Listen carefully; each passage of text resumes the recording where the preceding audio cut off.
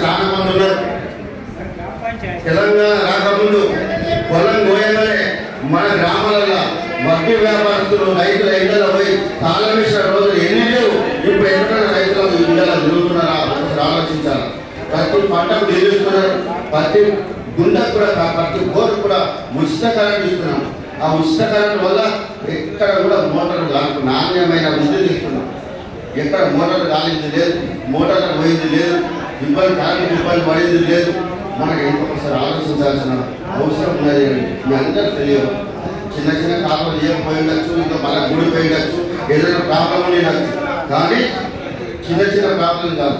ప్రతి గింజ నిజామాబాద్ జిల్లాలో బోధన్ నియోజకవర్గంలో తొంభై తొమ్మిది పాయింట్ తొమ్మిది తొమ్మిది శాతం వరకు ఉన్నాం ప్రతి ఒక్క గింజ ప్రతి ఒక్క రైతు దగ్గర ఉన్నాం ఎక్కడ మిగిలిపోలేదు. ఎక్కడ మిగిలిపోలేదు. ఎవరు కంపేయలేదు మీరు ఏదైనా ఉంటే రైతులతో మీరు మాట్లాడుతుండొచ్చు కానీ ప్రభుత్వ పరంగా ఒక కిలో కూడా రెండు వేల నలభై రూపాయలు ప్రతి కిలో కూడా ప్రతి రూపాయలు కూడా ఇవ్వడం అది రైతు ఖాతాలలో వారం రోజులు పై చూడండి ఒకసారి మీరు ఆలోచించాల్సిన మీ అందరికీ రాబోయే రోజుల్లో కూడా కేసీఆర్ గారు మంచి రోజులు మంచి పథకాలు ఇంకా రైతులకు రూపొందిస్తారు. ప్రపంచంలోనే ప్రపంచ దేశాలనే ఒక ఎత్తైన కాళేశ్వరం నీరు నీరు ఇలా మన దాంట్లో చెల్లకస్తున్నాయంటే రైతు కస్తున్నాయంటే మన గర్వకారం దాదాపు ఆలోచించాల్సిన అవసరం ఉన్నది. లిఫ్టిగేషన్ నీరు ఎక్కడ అధికార నీళ్ళు ఎక్కడ మన ఇళ్ళలో పొలాల పంటలు వస్తున్నాయంటే లిఫ్టిగేషన్ ద్వారా ఒకసారి మనమే ఆలోచించాల్సిన అవసరం ఉంది. కేసీఆర్ గారు రైతు కాబట్టి మన రైతులందరికీ మేలు జరుగుతూ ఉన్నది. ఖచ్చితంగా రాబోయే రోజుల్లో ఖచ్చితంగా ఇంకా అత్యున్నత నాణ్యమైన నాణ్యమైన పథకాలు ప్రతి ఒక్కరు వ్యవసాయం చేస్తాము. ఉద్యోగం అవసరం లేదనే రోజు తీసుకొచ్చే రైతులు కేసీఆర్ గారి దగ్గర ఉంది కాబట్టి కేసీఆర్ గారు ఖచ్చితంగా ముఖ్యమంత్రి మనందరికీ మంచి రోజులు కల్పిస్తారని ఈ సందర్భంగా ప్రతి ఒక్కరికి కూడా రైతులకు తెలంగాణ వాసులకు ఉద్యోగస్తులకు అందరికీ కూడా తెలంగాణ అవసరం నిలుస్తున్న సందర్భంగా ప్రతి ఒక్కరికి శుభాకాంక్షలు తెలియజేస్తూ కోరుతున్నాను కేసీఆర్ గారు ఒక రైతు బిడ్డగా ఆలోచించి వ్యవసాయ రంగ పునరుజ్జీవనం కోసం సమగ్రమైన కార్యాచరణను అమలులోకి తెచ్చారు. వ్యవసాయానికి ప్రాణధారమైన కరెంటు సాగునీరు మీద దృష్టి కేంద్రీకరించారు. అరవై ఏళ్ళ పాలనలో ఏ ఒక్క ప్రభుత్వము విద్యుత్ సమస్యలను పరిష్కరించలేదు. వ్యవసాయానికి వ్యవసాయానికి చాలినంత విద్యుత్తును సరఫరా చేయలేకపోవడంతో పంటలు ఇన్వర్ ఇన్వర్టర్లు కన్వర్టర్లు అనివార్యమైపోయాయి. పదే పదే మోటార్లు కాలిపోయేవి పటాకుల వలె ట్రాన్స్ఫార్మర్లు పేలిపోయేవి. చేశారు పెట్టారు.